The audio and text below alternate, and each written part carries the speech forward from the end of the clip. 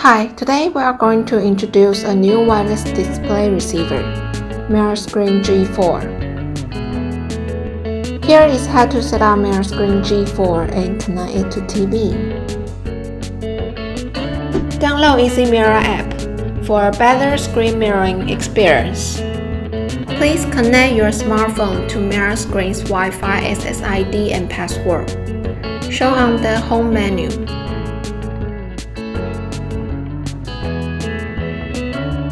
And enter the IP address into browser's search bar to see the settings.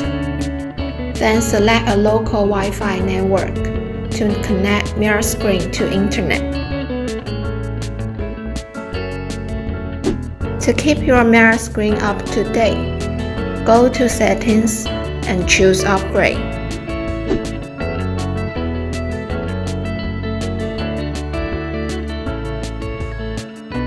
If you want to cast with a different OS device, press the button of dongle side to switch modes. If you want to switch to iPhone XS, just press screen mirroring and choose your dongle.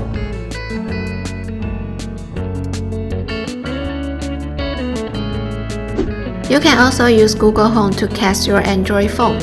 Download Google Home app, go into your account, and press mirror devices. Choose MiraScreen and see the screen of my phone is cast on TV. Just open the EZMira app and click connect and choose MiraScreen to cast.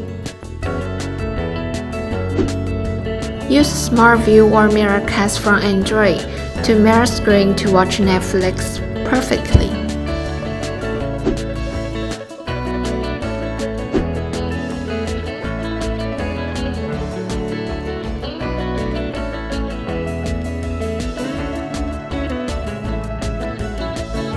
MiraScreen also supports AirPlay screen mirroring from iPhones.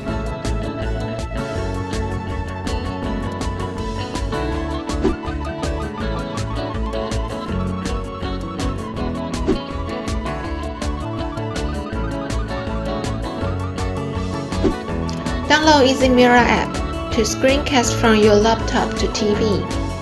EZMira supports Windows 10 and Windows 7.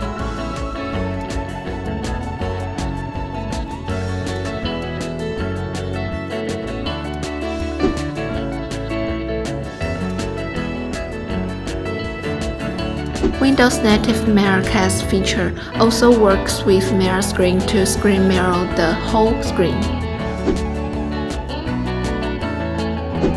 Or use AirPlay to mirror the whole screen. If you like this video, please drop us a like and subscribe for more MiraScreen tutorials.